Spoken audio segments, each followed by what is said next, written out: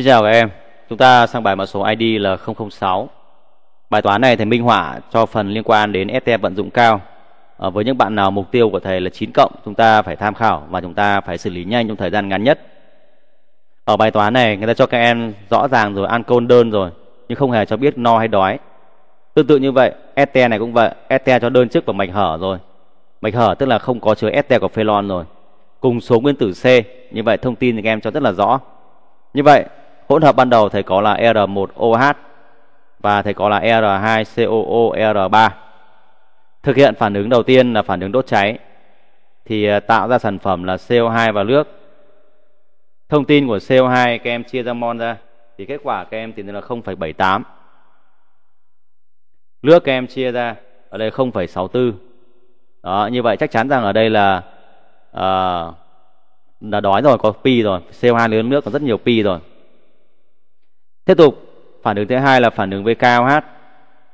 KOH thì thu được muối là phải có R2COOK và hai rượu. Rượu thứ nhất có sẵn R1OH và rượu số 2 tạo ra là R3OH. Tổng số mol là 0,26. Tổng số mol hai rượu này của thầy thì chính bằng tổng số mol 2 este hỗn hợp ban đầu. Cả este và cả rượu là 0,26 mol luôn. Đó là nhận xét rất quan trọng. Số mol rượu này bằng số mol rượu này số môn R3OH của thầy bảo bảo toàn R3OH nhưng vậy các em có tổng 0,26 ở bài toán này thầy đang minh họa cho sử dụng giá trị trung bình để giải toán ST vì thế chắc chắn các em phải nghĩ đến một trường hợp là C trung bình rồi. Bằng 0,78 chia 0,26 kết quả các em chia ra thì 0,28 0,78 chia 0,26 bằng 3 luôn. C trung bình bằng 3 luôn đó, nhưng vì ở đây người ta cho sẵn các em là cùng số C rồi. Vì thế cả ancol và cả este đều có 3C chúng ta không cần đến trung bình nữa. Như vậy, kết quả là đều có 3C vàng không x không tham gia phản ứng trắng bạc. Ờ, x không tham gia phản ứng trắng gương. Đó, tức là trong hỗn hợp x đó thì este của thầy không trắng gương được.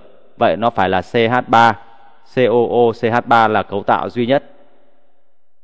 Rượu thứ hai của thầy chưa biết là bao nhiêu mon chưa biết là cái rượu nào cả, chỉ biết là có 3C thôi. Đó, thì có là C3, HI chưa biết và O của thầy là OH đi. Đó. Bây giờ phải tìm Y bằng cách nào? Thế thì uh, thầy sử dụng giá trị thứ hai là H trung bình. H trung bình của thầy bằng à, các em có là 0,64 0,64 nhân 2 chia cho 0,26 kết quả bằng 4,9 bằng 4,92. H trung bình bằng 4,92 mà thằng ST của thầy có 6H. Vậy cái thằng ancol của thầy có số H tức là ancol đấy, ancol có hydro của thầy phải nhỏ hơn 4,92. Như vậy suy ra chỉ có một cấu tạo duy nhất thỏa mãn thôi, đó là liên kết 3C CH2OH như thế này mới đảm bảo rằng số H của thầy nhỏ hơn 4,92. Ở đây cụ thể là 4. Đó. Để đảm bảo rượu bền thì các em phải tối thiểu như này. Như vậy kết quả thì tìm ra được cấu tạo của ancol là CH à, lối 3 với C lối với CH2OH. Thầy dùng vinh hydro tổng số mol là 0,26 vinh hydro thì tìm ra được cái rượu của thầy uh, sẽ có số mol và este có số mol tương ứng sẽ là à, uh, este là 0,12 rượu là bằng 0,14 đó. Vậy kết quả từ đây suy ra được số mol oxy của thầy nhân với 2,4 vậy V của nó các em tính ra được bằng 20,384 đến đây thì các em tính được rất đơn giản rồi. Đáp án thầy có đáp án C.